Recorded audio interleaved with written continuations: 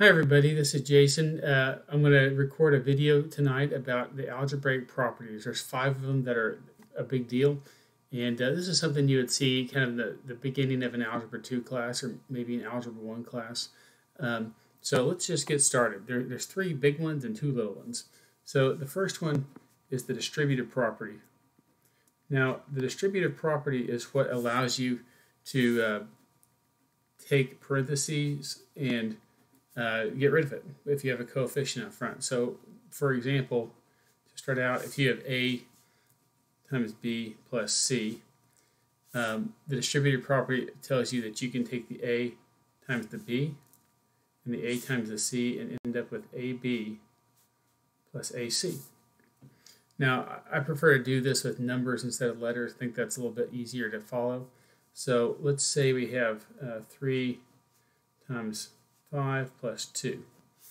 Um, so the distributive property tells you that you can take the 3 times the 5 and the 3 times the 2 and get uh, well, 3 times 5 plus 3 times 2.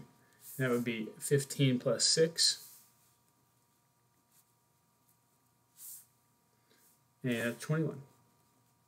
And if you just want to check yourself, uh, this was 3 5 times 5 plus 2 is 7, so that would be 21. Uh, the distributed property works if you have three items in here or more than three, it doesn't matter.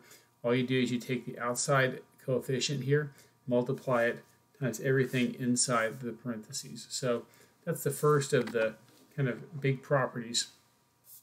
Um, the next one is the commutative property uh, of addition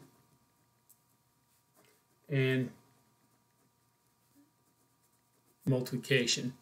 Um, and uh, what this, is so the word commute kind of sounds like uh, you would be moving. So uh, that's what this is about. It's about the order of addition and multiplication not mattering. Um, so just uh, to be uh, kind of conceptual at first, a plus b plus c is equal to c plus b plus a or uh, a plus c plus b. It doesn't matter the order that you add, uh, you still get the same thing. And the same goes for multiplying.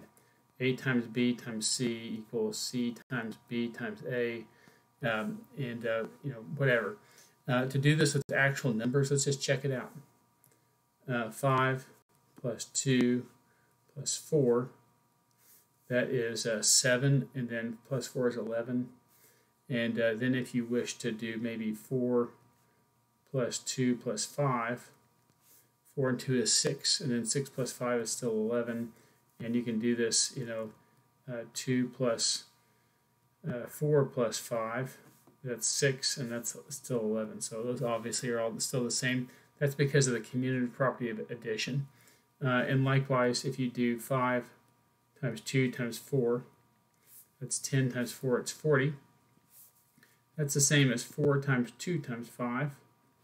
That's 8, and then 8 times 5 is still 40.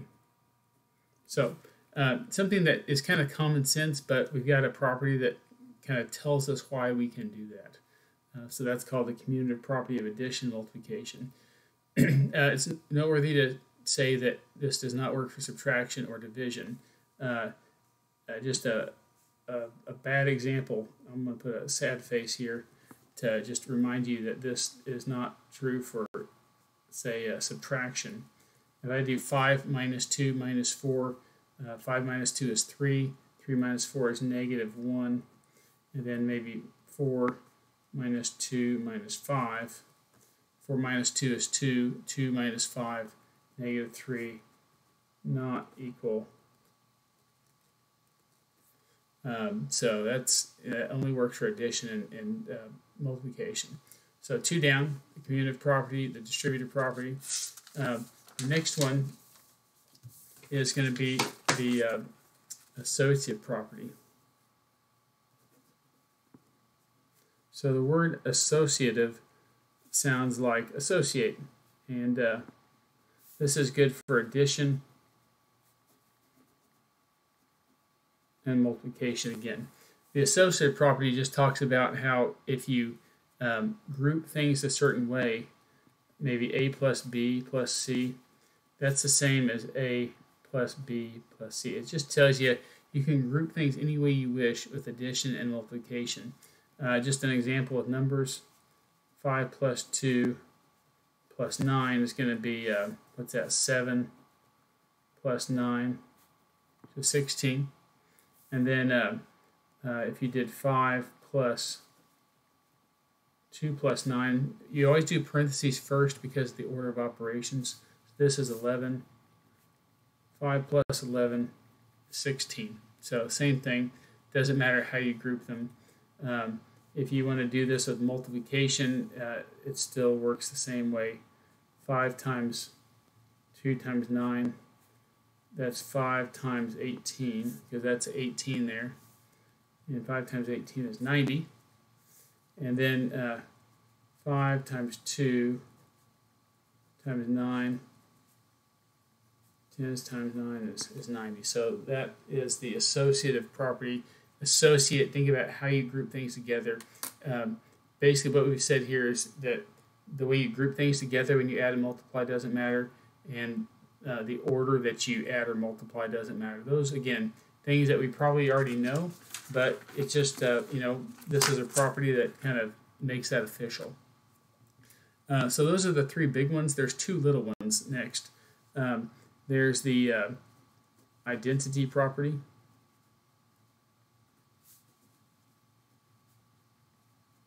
that just says if you take 5 and you add 0 to it, you get 5.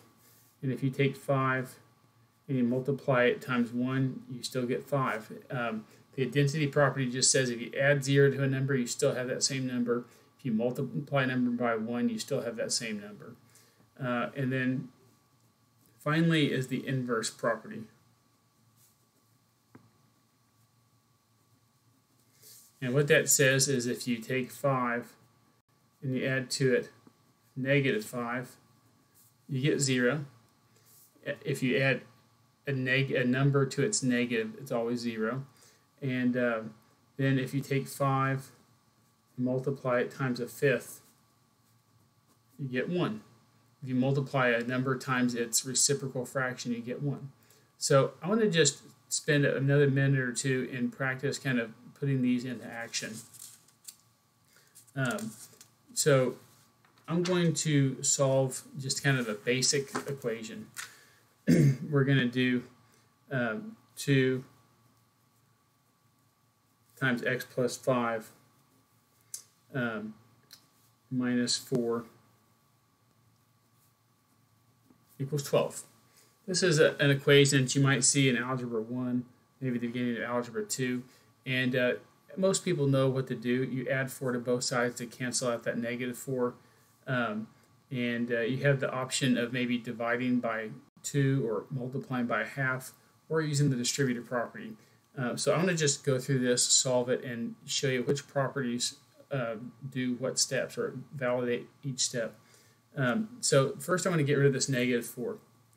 Um, most teachers uh, will just tell you that you you know add four to both sides or some they might say move the four over and that's not really the, the right way to say it by adding four to negative four this is the um, uh, the inverse property because the inverse property says if you add a number to its negative you get zero so that's where you get 2 times x plus 5 equals 16 um, at this point I've got a choice uh, I could divide by two. Uh, yeah, that's probably what you know someone might choose to do.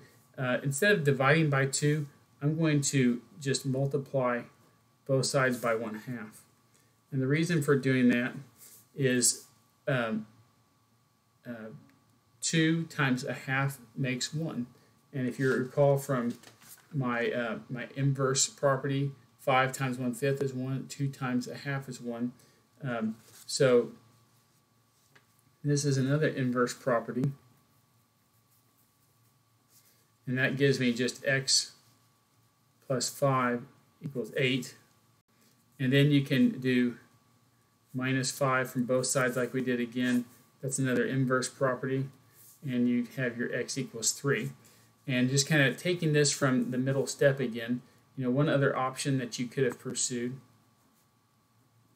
would be uh, to do the distributive property. That would be, this is the distributive property, the very first one we did. And that gives you 2x plus 10 equals 16. And then you can do the inverse property here, like that. And you get 6. And then I'm going to multiply by half again on both sides. So you get x equals 3. And uh, so this is the inverse property again. So I hope that helps out. Uh, the algebraic properties are uh, pretty pretty basic, but a really big deal because they, they basically give us license to do many of these sort of things that you you are used to doing. Um, so anyway, that'll wrap this up.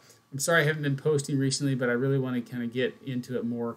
I've started my own school and been busy and had stuff going on home. So, but I do want to get back into it, and and uh, I love hearing comments from my viewers and connecting with my viewers.